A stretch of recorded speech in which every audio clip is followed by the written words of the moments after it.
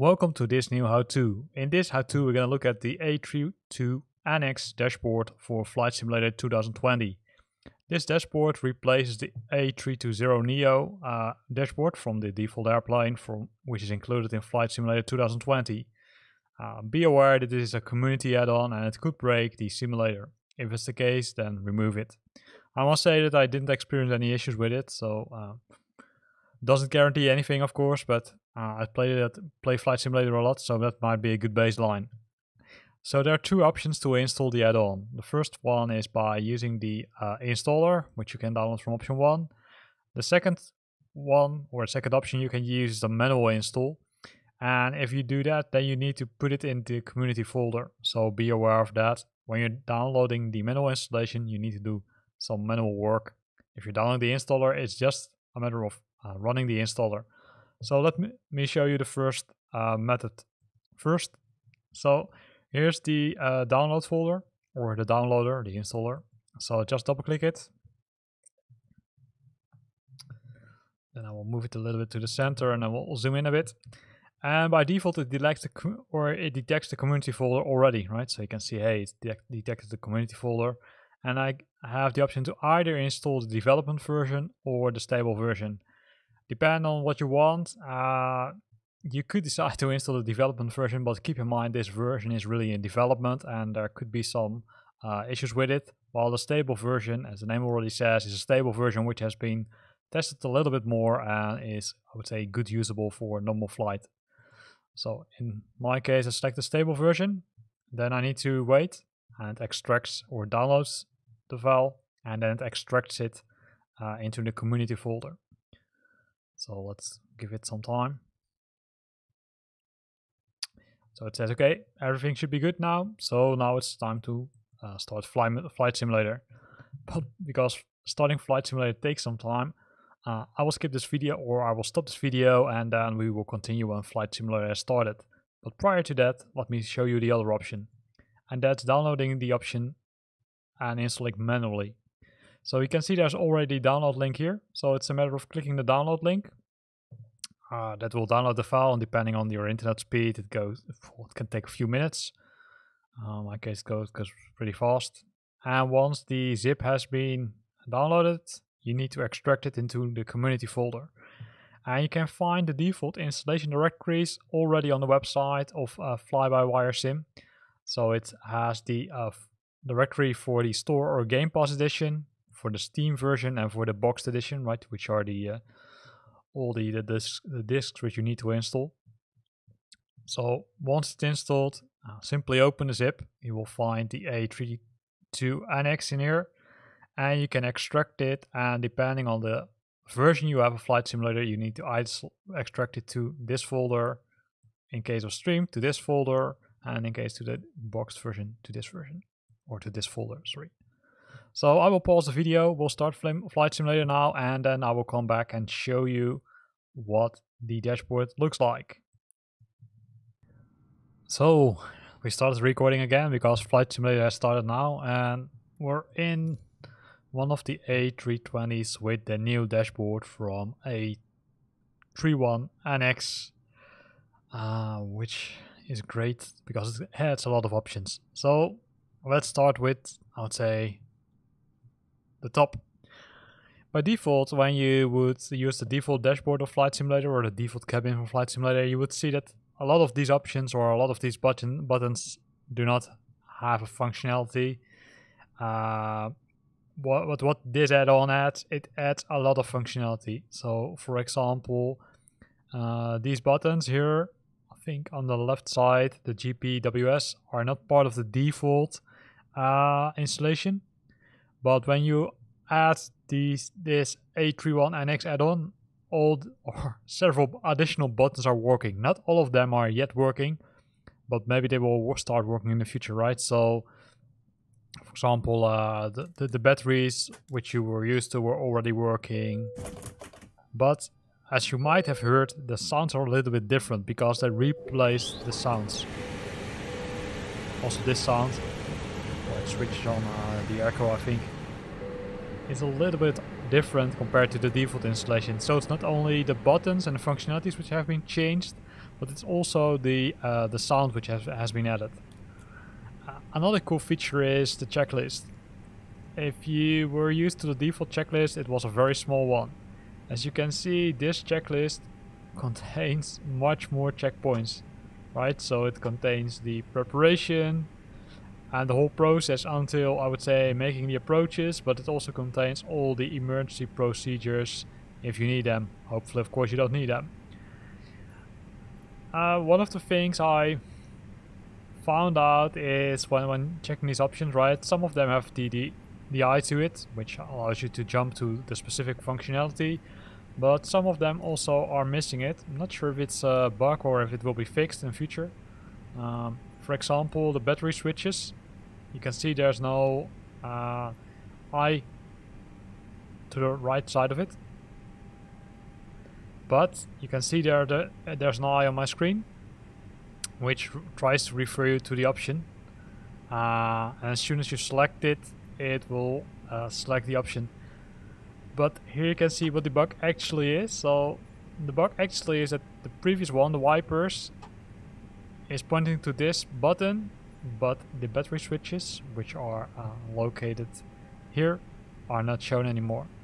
Right, so that that's one of the I would say minor issues I found out. Um,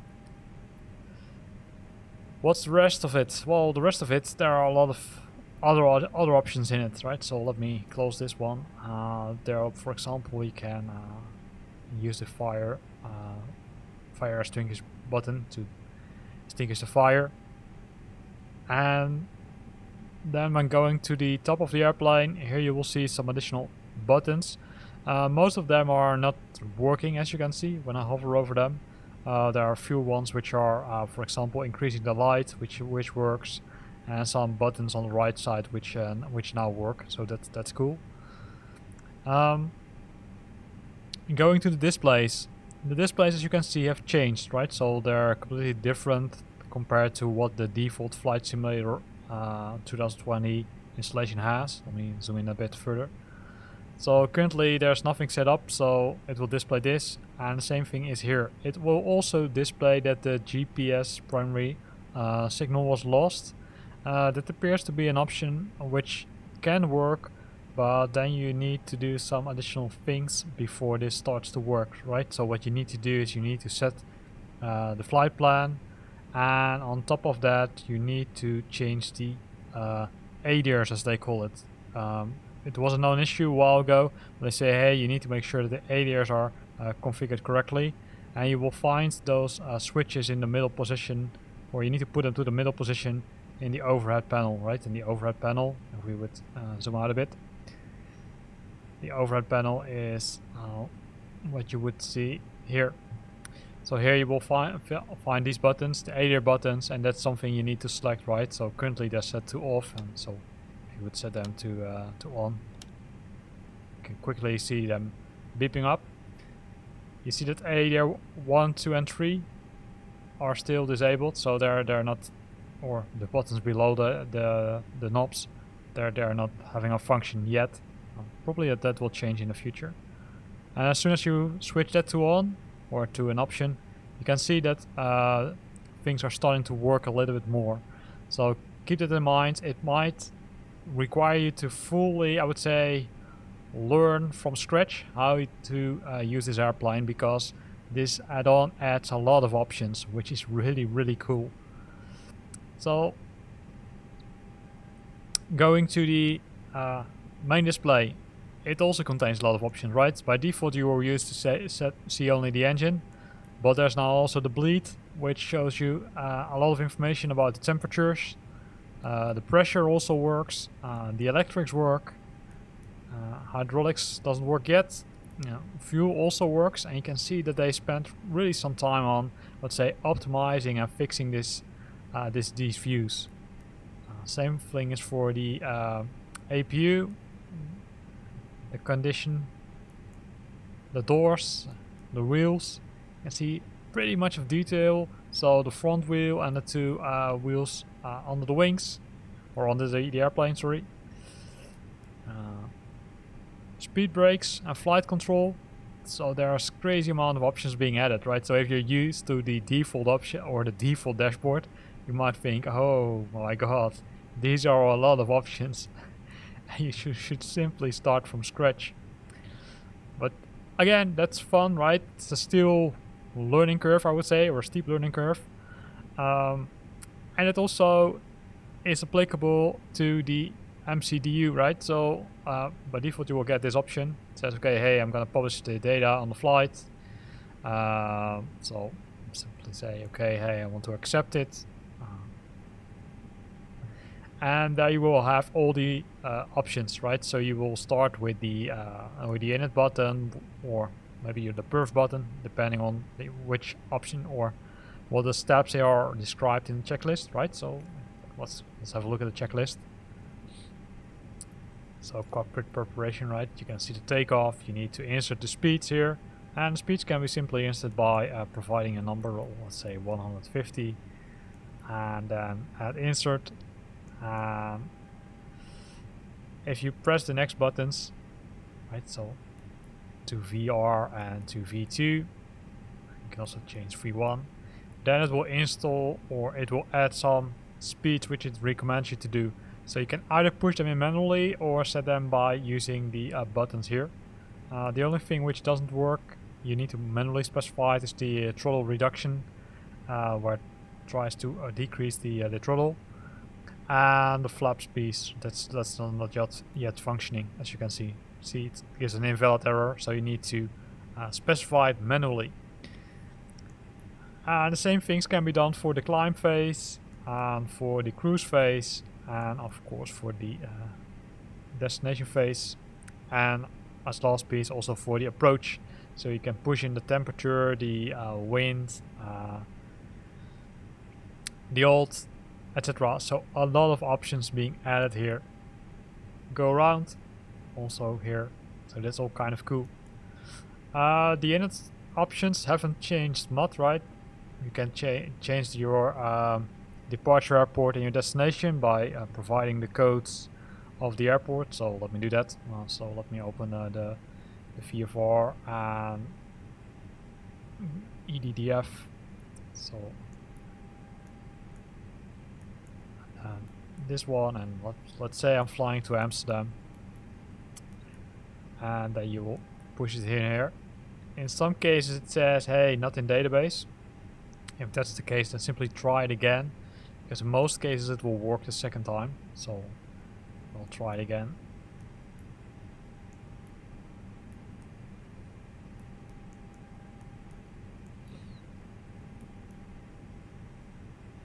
Here it says none. Okay.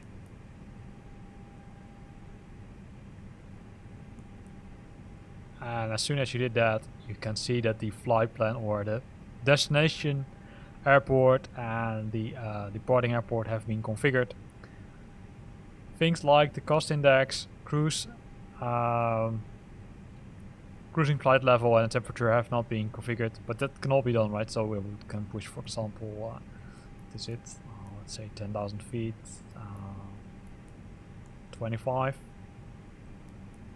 and you're able to set uh, the temperatures. Same thing as for the cost index I think I read somewhere that you need to set it to, that one of the options is to set it to 25. And once that's done, you have added the uh, stuff here. Qu ground temperature um, isn't populated by default, but once you're uh, connecting to ATIS, you can collect that information. Um, one of the options now is that it automatically added the flight plan, right? But if you want to use another flight plan, for example from SimBrief, you can also uh, load that directly from Flight Simulator. So you can use simbrief.com to schedule your, your flight. Then using the uh, MCDU, you can uh, configure it. And you need to do that by going to the MCDU menu, then going to the options. Um, then go, so let me do, then press the, the button here, let me show it again so the AOC button, and there you will find SimBrief. Here you will provide your username, and then you're able to load the uh, flight, flight plan directly from from simbrief.com, which is a cool option because then you don't need to punch in all the things manually or use the flight simulator built-in uh, scheduling tool. So you can see a lot has been added to this add-on and keep in mind it's not yet finished, right? This is only version 0.50 which is uh, not yet the 1.0 version. So a lot of cool things. I think we, we discussed a lot. Probably not all the options because there are so many options being added by this add-on. But this is a, I would say, a good start point. So if you're not convinced to use the A3 to annex up, uh, I would say add-on, maybe I convince you now. Here ends this video. If you like the video, then consider to use the like button. If you've got questions or remarks, then use the question and remarks button. If you like to see more of these videos or like more the tutorials about how to fly and how to operate the airplane, then consider to subscribe to my channel. Thanks for watching and see you next time.